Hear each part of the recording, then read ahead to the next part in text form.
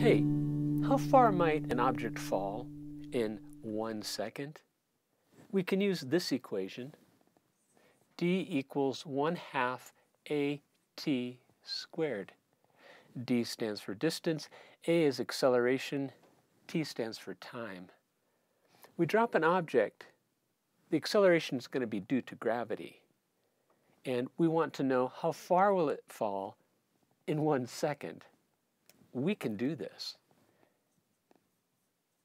The acceleration due to gravity, we'll round it up to 10 meters per second squared. The time we're looking for is one second. If we want to calculate how far it falls in one second, we do this. 1 half times 10, which is 5, times 1 times 1, last I checked, is 5. 5 what? Distance? 5 meters. Okay, so this equation tells us that an object falling due to gravity in the absence of air resistance after one second will fall five meters. Wow. Let's put this equation, our guide to thinking, to some actual use, shall we? For example, let's draw Earth.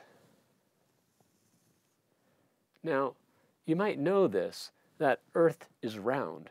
And because it's round, it has this curvature. But you might not know what exactly the dimensions are of that curvature.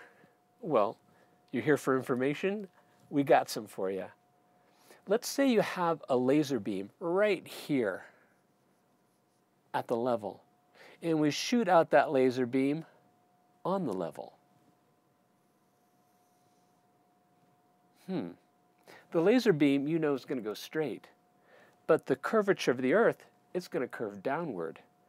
How far will it curve downward? Here's the information. We've got five meters after eight kilometers. You've got to go a distance of eight kilometers, and you'll find that the Earth curves downward by five meters. Wow. It'll be different on different planets, but this is what we have for our planet with its particular size. So let's replace this laser beam with a cannon. And the cannon is going to shoot not a laser beam, but a cannonball. It's going to shoot outward from that cannonball. Pick a number. How fast? Two? Okay, two. Two what? How about two kilometers per second? Yeah, that's right. After one second, it will travel two kilometers along the length of this laser beam. And that would be right about there. But you know what? The cannonball is shot outward. Does that mean that it's free from gravity? Does gravity take a holiday on objects that are moving sideways? No. Gravity is always acting, whether it's stationary or whether it's moving sideways, doesn't matter. How far will that cannonball fall after one second? That's right, by five meters. So here's going to be the trajectory. Oh, the ground is in the way. So what you're going to have to do is dig out some of that ground with a handy dandy bulldozer, five meters deep. A meter is about this long. So multiply that by five, and that's about how deep you're going to have to dig.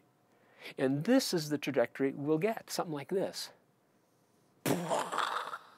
The cannonball will drop by five meters after one second, traveling outward by two kilometers at two kilometers per second. Great. Pick another number. Four? Okay, four. Four kilometers per second.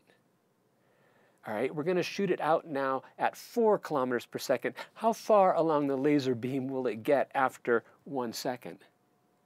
Four kilometers per second. That means it's going to get right about to there, four kilometers distance. So it goes out to here, but is gravity acting on it? Absolutely. How far will it fall after that one second? Five meters. So it'll, uh, the ground is in the way. So you pull out your handy dandy bulldozer and you bulldoze out some earth, and you now have a clear path five meters down for that cannonball to shoot out like this. And notice that the curvature of the trajectory widens out as the cannonball moves faster. In either case, after one second, it always drops by five meters. Pick another number. Six? Okay, six. Six kilometers per second. We're going to shoot that cannonball now out at six kilometers per second. How far along this laser beam will it travel after one second?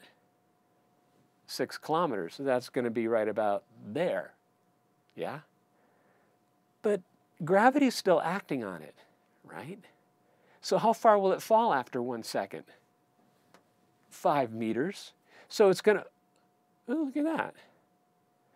It's going to fall right about there, but you notice that you don't have to dig out as much ground anymore. Huh. So the trajectory will look like this, a bit wider of a trajectory as it falls five meters. You know where this is going, don't you? Yeah, pick a number. How about eight kilometers per second? How far will it go along this laser beam after one second? You got it, out to here, eight kilometers. But does gravity take a holiday on things that are moving sideways? No, it doesn't. It's going to fall. How far will it fall in one second? five meters. The equation is our guide to thinking. It falls five meters to be right there. And you find you don't even need your bulldozer anymore. There's no earth to dig. Let's look at the trajectory. It's going to be something like this. And wow, check this out. The curvature of its trajectory matches the curvature of the earth. That's interesting. And it hasn't touched the ground, it missed the ground. Is it falling? Absolutely. It fell five meters after one second. What about the next second? Well, because it missed the ground, it's going to keep on going and it's going to just keep going straight out like this. But wait a second gravity doesn't take a holiday, it's going to fall by five meters, won't it? So it falls by five. Oh, it missed the ground again. Wow. So let's look at this from a wider point of view, all right? And we've drawn the large planet right there, planet Earth. And up on the North Pole, we place a cannon. and the cannon shoots out the cannonball at two kilometers per second. Now it shoots it out at four kilometers per second. Now it's six kilometers per second. How about eight kilometers per second?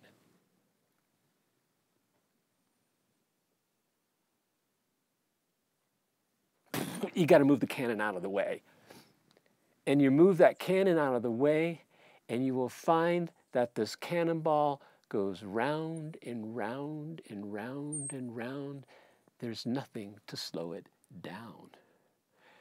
Except 8 kilometers per second corresponds to about 17,500 miles per hour. Have you ever driven down the road and stick your hand out the window at 17,500 miles per hour? Probably not. This is very fast.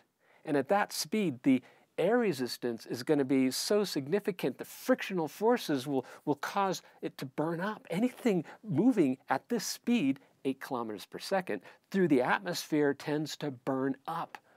Not good.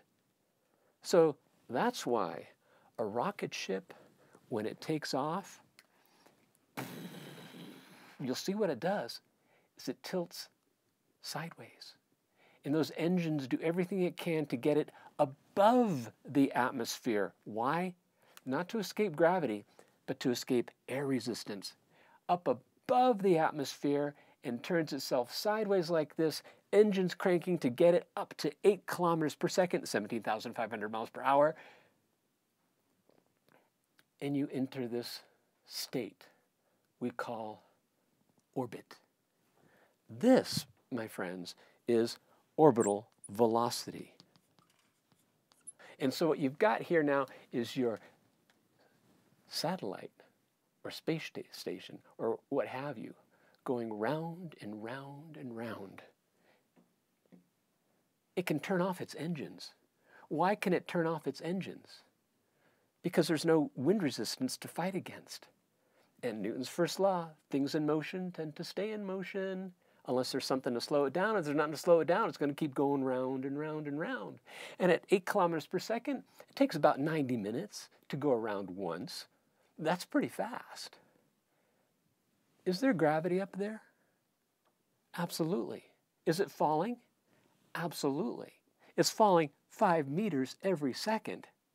There is certainly gravity up there it's falling like this. It would go straight, but it falls down. It would go straight, but it falls down. It would go straight, but it falls down. It would go straight, but it falls down. It would go straight, but it falls down. It would go straight, but it falls down. And if it weren't for the gravity, it would just go straight. It would be goodbye. Gravity is perpetually pulling it back down toward it. It's falling five meters every second. Now, say you're an astronaut within space station that is up there in orbit. Are you free from gra gravity? No. But are you weightless? Yes. What do we mean by weightless? What we mean by weightless is that there's no support force. Say you're on a high dive, you're about to jump off. The high dive is supporting you. There's a force of gravity downward on you, and there's the support force upward on you. There's no net force in that case, so you're not accelerating. But the moment you jump off the high dive, there's no more support force. There is a net force downward. It's the force due to gravity. And you fall and you feel, whoa, like on a roller coaster, your stomach kind of lifts up and it's like, whoa, boom, splash into the water. But if you could push yourself sideways at a fast enough speed, and above the atmosphere, that's what you got when you're in orbit. You're not free from gravity, you're free from a support force. Cool. Which brings up a question. What would happen if you traveled faster than 8 kilometers per second? Ooh, good energy to you.